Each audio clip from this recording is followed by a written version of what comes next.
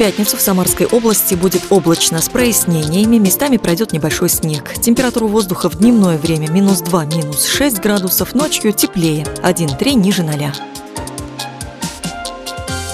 В Сызрани ясное небо без осадков. Днем минус 3, ночью минус 2 градуса. Ветер западный, скорость 3 метра в секунду. В Тольятти небольшая облачность, днем минус 3, ночью минус 1 градус, юго-западный ветер 4 метра в секунду.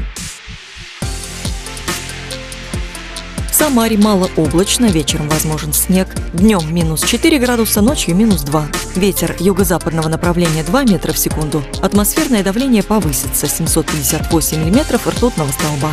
Влажность воздуха 86%, геомагнитное поле слабо возмущенное.